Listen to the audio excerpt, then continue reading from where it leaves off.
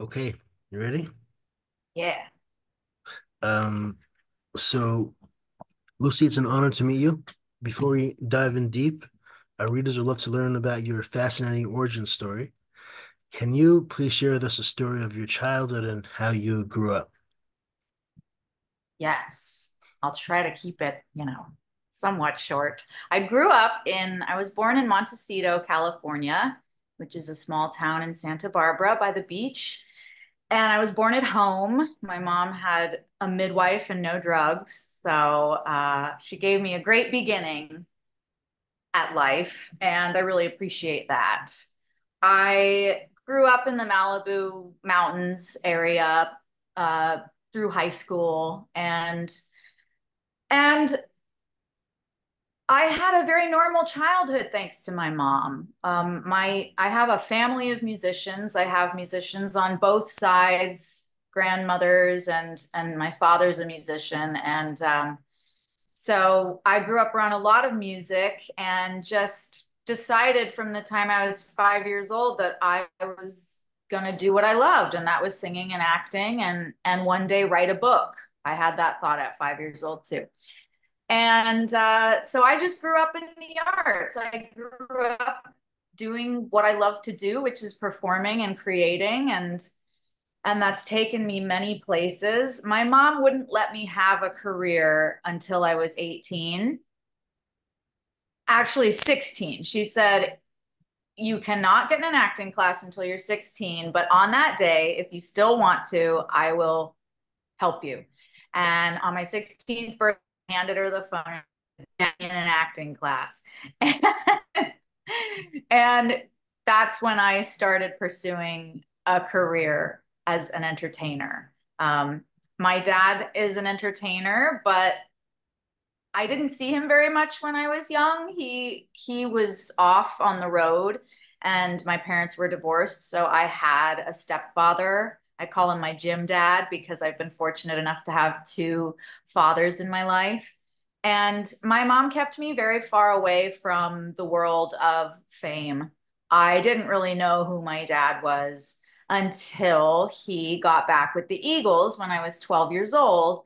And then my life changed and our whole family's life changed because for the first time, I realized that my dad was somebody pretty pretty well known. And um, that was a very bizarre experience at 12 years old. Hmm. So that was my early life um, in a nutshell. that's, that's beautiful, beautiful. So you mentioned that you started, sounds like you started with uh, with acting rather than the music. So yeah, you want to tell us how that started? You know what, what the process was, how you got your first your first gig? Yeah, I I remember being five years old and I was watching Gone with the Wind and I saw Vivien Vivien Leigh and I kind of pointed at the screen and I said, That's what I am. I want to do that. And I didn't really know what that was, except I was very drawn to it on a soul level. And I've heard of other actors having that experience. I just heard Mark Ruffalo talking about seeing Marlon Brando in a film when he was about the same age and he had the same kind of epiphany. Um, so that was it for me. I I never questioned thing, things after that. Acting has always been my my my purpose at the deepest level. And um, what I did do when I was 10 years old was I my mom took me to see the Nutcracker Ballet. And I saw Clara on that stage. She's the lead of the Nutcracker, if you know the story.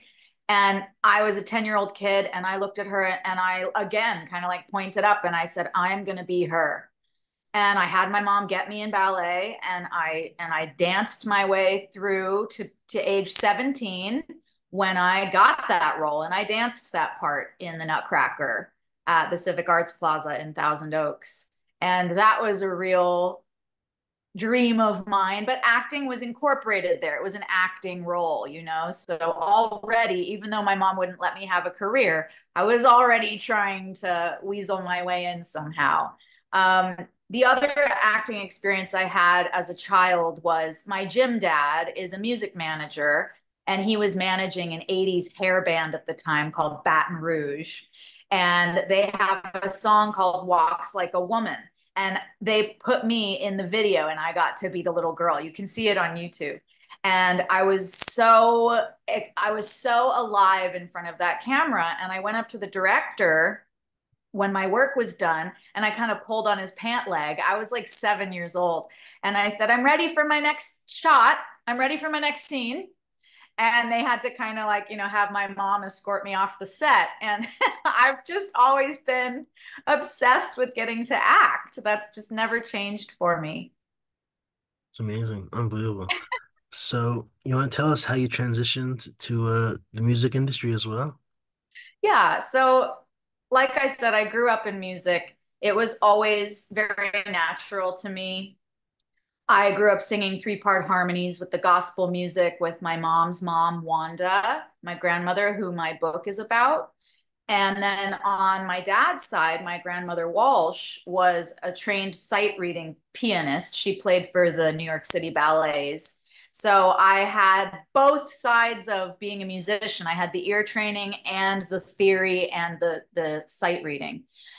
Um, I always kind of took it for granted, I think. I love music, but it's not what what really lit my fire like acting ever did. That's a I, I don't mean to sound like disrespectful or like I take it for granted because I don't, but um it's all the same to me. It's all just a part of of what makes my soul happy and that is to be singing and acting and and and just on stage uh, with an audience.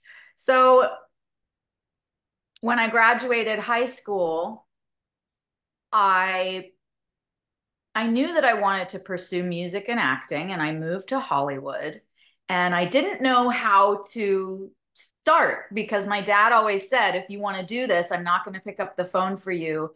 You're going to go out and and find it. And I'm so grateful he did that because I did.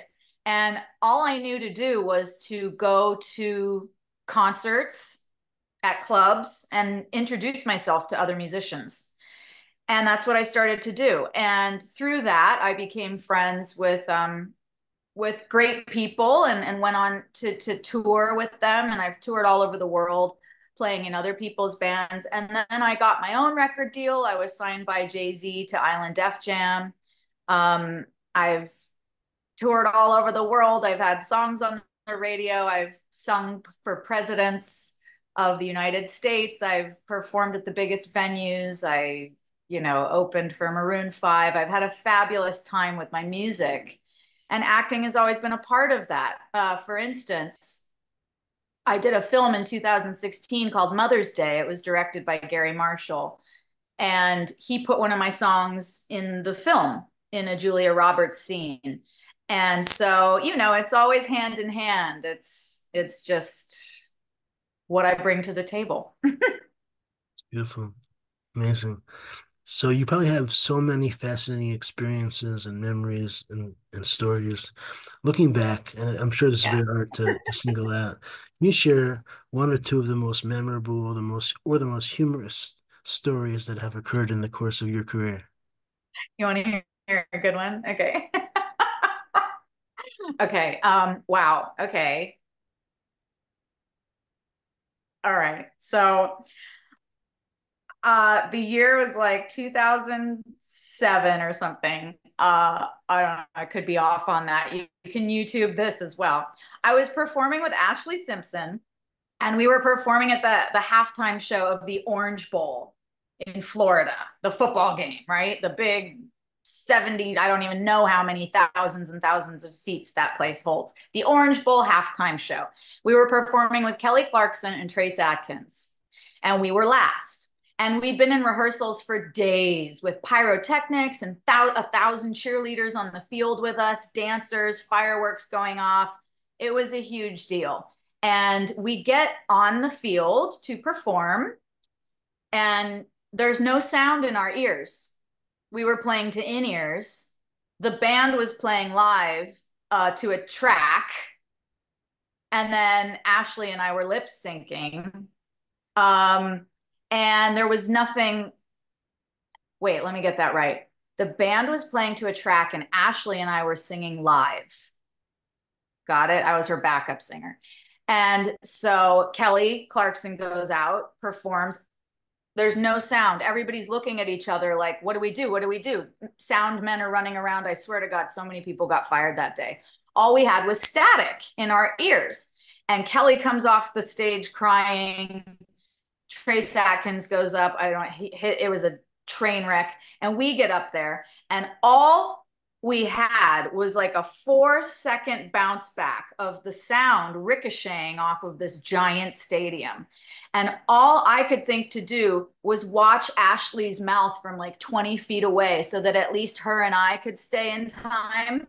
But when you watch it on YouTube, we're like four seconds off from the band, and it just sounds so bad. And we got done, and the entire stadium was booing.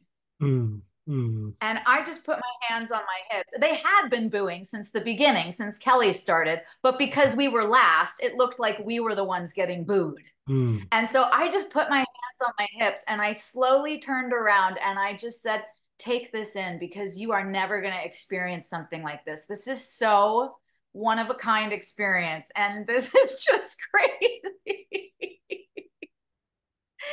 it was nuts. And uh, needless to say, uh, we got very drunk that night after the show. It was not a nice day.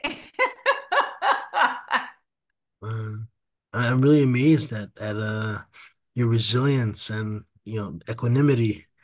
You uh, do. You have to laugh, right? I like mean, everything that can go wrong when you're performing will go wrong. Like I've been on stage in front of 5,000 people at Universal City Walk, and my whole band was playing in a different key than my piano and we didn't know how to fix it so we started the song over like five times it was an absolute nightmare i've had drunk people get up on stage with me i mean if it's going to go wrong it will and that is what being a seasoned performer means that you have performed live enough to work out anything that could go wrong so that no matter what happens you can keep that audience comfortable and if you're keeping the audience comfortable you can get away with anything unbelievable, unbelievable. you know? Wow. I, I don't know what I would do in that situation. I would, I I mean, you probably just want to would run away and just Yeah, crawl into I a would, rock. I would, and what's amazing is that you, the next day or the next week, you continue performing, you know? You're right back up there, baby. Yeah, unbelievable. Amazing story. Um, so can you share with our readers any of the exciting projects that you're working on now? You, you mentioned the book, you have so many things going on. Know, share with us what we should get excited about. Yes, right now you should be very excited about my new book. It's called Remember Me as Human. I have fulfilled my life, my my lifelong dream of being a published author, and I am I'm just thrilled. This is so surreal. So when I was 17, my grandmother Wanda gave me 63 of the remaining love letters that my grandfather Dale had written to her during World War II from 1943 to 1945 when he was fighting in France. And when she gave them to me, I I knew they were a big deal and I knew they were very important and I knew that I wanted to turn them into a film someday. But I didn't know how to do that yet. So I dreamt of getting to Ron Howard and Tom Hanks and I would keep them in my purse. I would keep the letters in my purse so that if I ran into Ron Howard at the grocery store, I could pitch him my idea for the film. And here's one of the letters here. This is from January 9th, 1945. And um, yeah, there's 63 of them. They're very special. And I've included some in the book as well. So I didn't know how to make the film yet, but I knew that I had to start asking questions to fill in the story around the letters. And so I did. I started asking questions. But before I could get the chance to really speak with my grandfather at length, he died with Alzheimer's. And that really freaked me out because his stories and his memories were gone forever and I couldn't stand that. So that led me to interviewing my grandmother, Wanda, in her nursing home when she was 97 on camera for three days about her life and the letters. And she died four months later. So I'm so grateful that I did it. And this book, Remember Me as Human, is the story of those three final days that I spent with my grandmother, Wanda. And what started out as me asking her about the letters really became a master class in what it means to be truly human. And that's the book. Hmm. Wow, unbelievable. Unbelievable. It is unbelievable. It's it's it's Wow. it's an It's incredible, an incredible read. such a great idea. It pretty much, you know, everyone has everyone could do that with their grandparents and you know, like there are probably so many rich stories that are lost by by us not doing that. I'm really glad you said that, Yitzi, because that is the takeaway that I want every reader to have. I want this to inspire you to ask more questions of your elders and of your loved ones, not even elders, but of each other while we still have each other. Because once we're gone, we're gone. And so much is lost. Hmm. And I don't think we speak to each other enough. I don't think we're curious enough about each other. And I don't think we're curious enough about ourselves. But I do know that we all share one important thing, and that is this ache to understand who we are from who and where we've come from. And that's going to take some digging. So I really hope that this book is inspiring in that way. Hmm. Beautiful. Beautiful. Okay, so this is our signature question that we ask in all of our interviews. Um, so you've been blessed with so much success in your very uh uh textured and varied career. Um, I've been blessed with a good work ethic. That's what I've been blessed with. And that has led to the success. w- well said. Uh, touche. Excellent, excellent correction. Um, so can you share with our readers uh five things you need to create a successful career in entertainment? wow. Oh my God, I could make so many jokes right now, but I won't. You can make jokes. We can include jokes. oh my God. Oh my God, my mind is going very strange places. Okay. I want to really help people. This is supposed to be a helpful answer. Okay, five things that you need to have success in the entertainment industry, right? Mhm. Okay. Oh my God. Um, wow. Woo! One would be a work ethic. All a work ethic means is showing up repeatedly and consistently to put the work in for the time that it takes to achieve your goal. And Hmm. thankfully, I was shown the example of a wonderful work ethic by growing up around my dad's band, the Eagles, because those guys get on stage and make it look easy.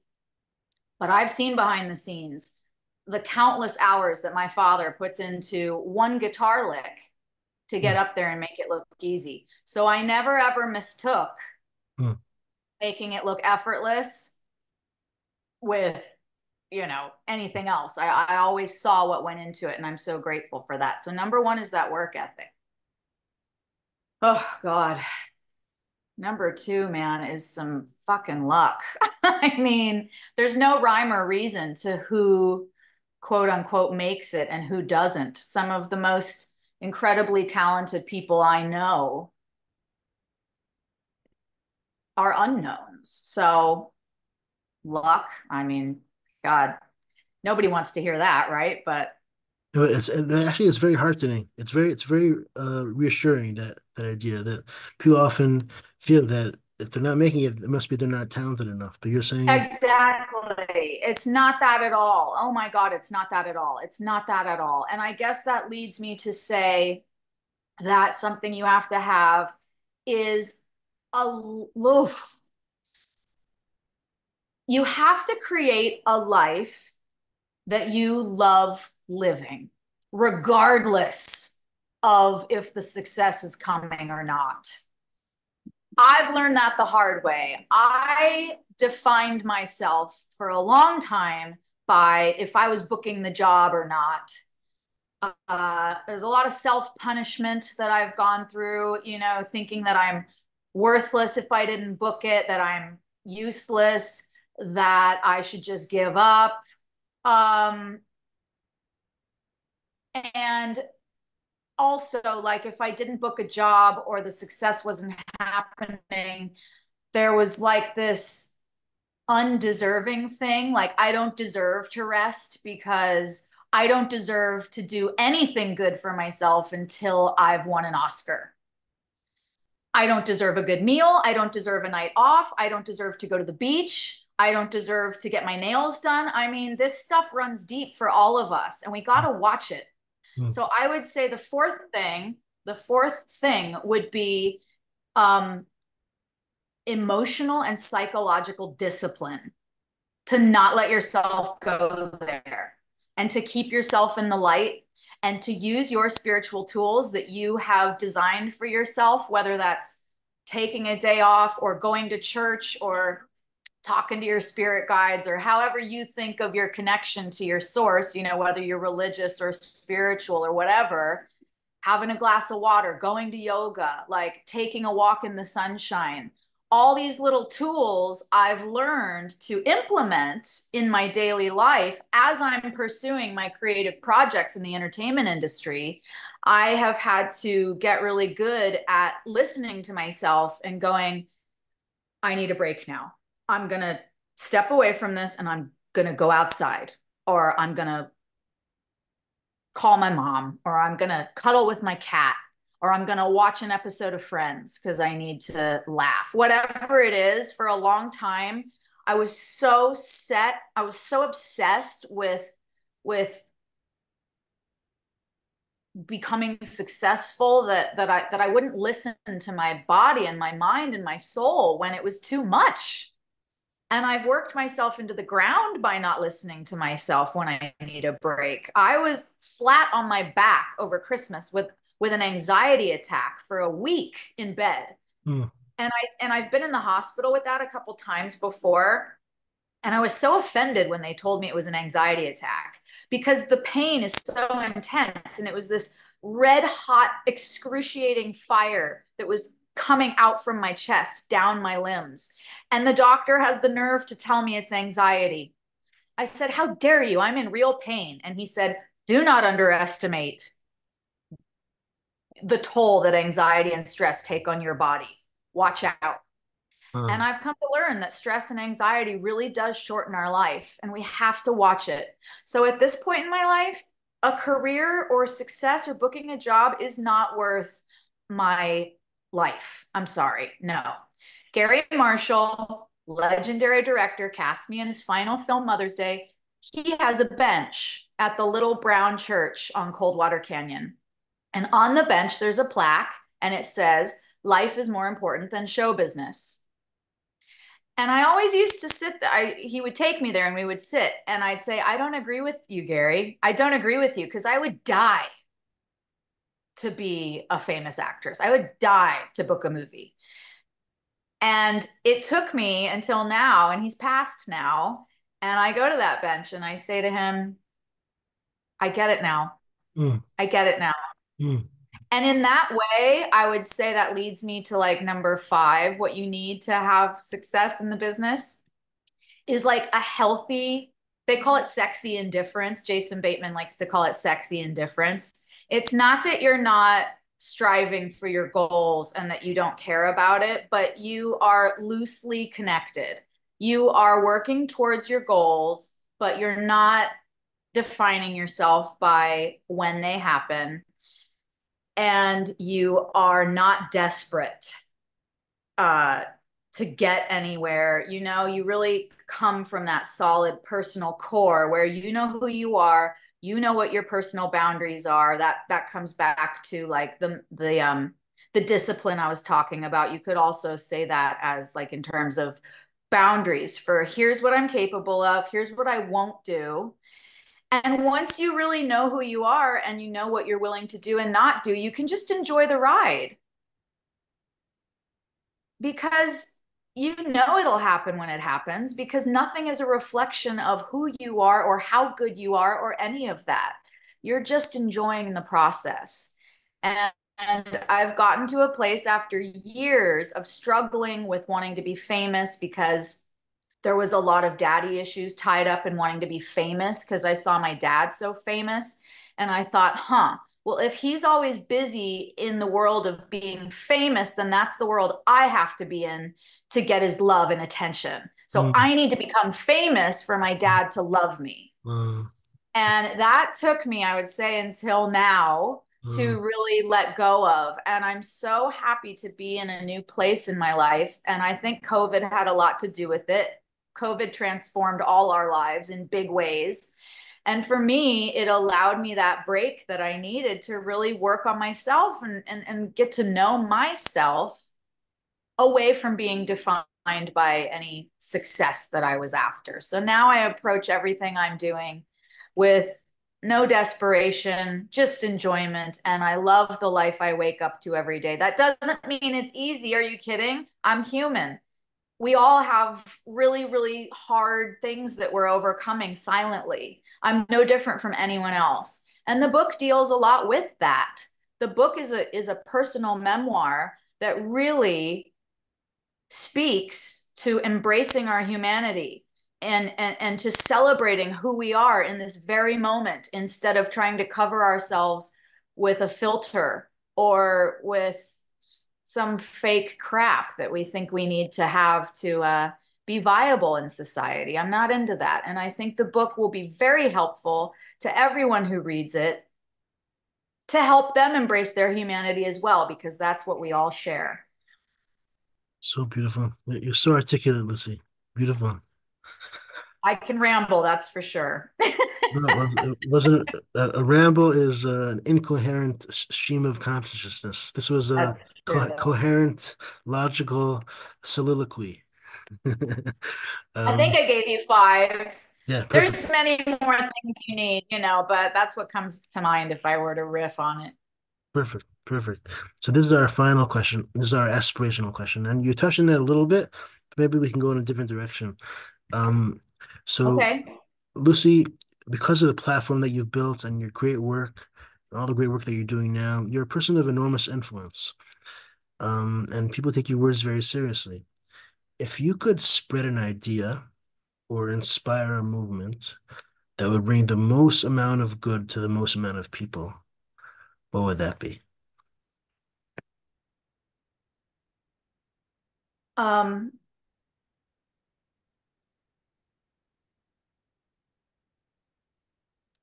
I think that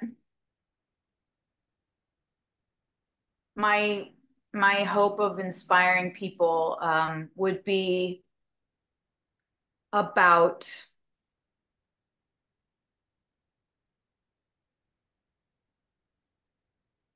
Elon Musk takes a very long time to think about his answers. So, you know, I'm channeling Elon Musk right now. Um, yeah, there's no rush. Take your time. You know, you can think about it. I'd like to inspire people and start a movement if I, you know, if the world were run by me. I would really like to inspire people to wake up to their curiosity I can't tell you how many conversations I have with people where they don't ask me a single question about myself. I don't know what that is. I don't know what's caused that. Um, I don't experience it as much in other parts of the world. If I'm traveling abroad, people seem to be more interested in each other. But in America, I think there's this pandemic of loneliness because people are very isolated from each other without realizing it. I think that there's a lot of separatism going on. I think that social media and AI are robbing us of our humanity. And I'm very afraid of where we're headed. And if I stand for anything, it is preserving the human connection in every way possible in our lives. It makes me emotional because once we lose that, we're dead, you know? Suicide is at an all time high, depression is at an all time high because people are alone in plain sight because nobody's really talking. Mm. Mm. And we must, we must. And that starts with being curious about ourselves. Mm.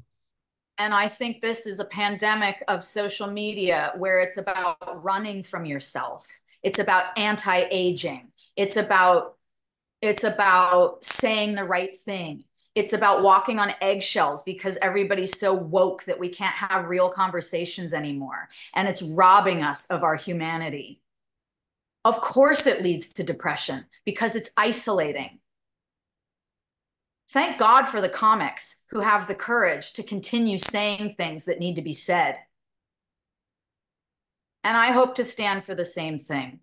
So, the more we embrace our human connection within ourselves and within within our relationships, you get curious about yourself, get curious about other people, get your head out of your own ass and put your feet in someone else's shoes and talk about things that are hard to talk about, like suicide, like depression, like grief, like alcoholism, like mental illness, and the good things too, of course. But my book deals with all of that.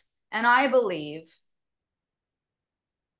that that's where the healing lies, is in embracing our humanity within ourselves and with each other. And that's the message I'd like to inspire. So beautiful. So well put. Um, is our final question. How can our readers continue to follow your work online? How could they purchase your book? How could they purchase your music? How could they support you in any way? Thank you. So you can follow me on all socials. I'm the Lucy Walsh. My Instagram page is popping. There's all kinds of updates there every day. That's where it's all happening. Um, the book is available for pre-sale on Amazon. Remember Me as Human on Amazon. Uh, and, you know, it publishes March 12th. So please get yourself a copy, buy multiple copies, give them away as gifts. It's a wonderful, wonderful uh, book to give as a gift to anyone you love. And please help us spread the light that way. It's a very powerful story. You will fall in love with my grandmother, Wanda May Boyer. You will be swept up in these love letters. And it, it it's really got something for everyone. So follow me. Uh, there's also lucywalsh.com. It's going to be a great year. I look forward to meeting everyone. I'm, I'm really excited to to connect with your readers and uh, please feel free to reach out to me if people have letters in their family because we all share this. We all have love letters from our relatives. We all have letters from the war. Uh, and I'm starting a podcast after the book comes out where I will be having people on guests every week to share letters and artifacts from their families as well because we got to pass this stuff on it's very important for that human connection so beautiful, beautiful. So, Can I mention one thing that I'm working with uh, an organization that I'd like to to include? So I just partnered with an organization called the National Association of Long-Term Care Volunteers. It's a mouthful, but it is an association that helps bring volunteer um, companions into nursing homes to spend time with the elderly it's a pandemic in our country and in the world that the elderly population is very ignored. And you can make such a difference in somebody's life simply by volunteering to show up at the nursing home in your community and spend time with somebody every week whenever you can. Doesn't have to be you know weekly. Whenever you can to just sit and listen to them or read with them or play cards or play music whatever. It's very very easy to get involved so please direct message me if you want more information. Um, it's so easy to get involved as a volunteer in your community, and it really, it really does prolong and enrich people's lives in the elderly community. We're all going to be there someday, so we should take a look at it and really think about it for a second. So beautiful, beautiful. Okay, I'm, I'm stopping the interview, but I want to say one thing. Um,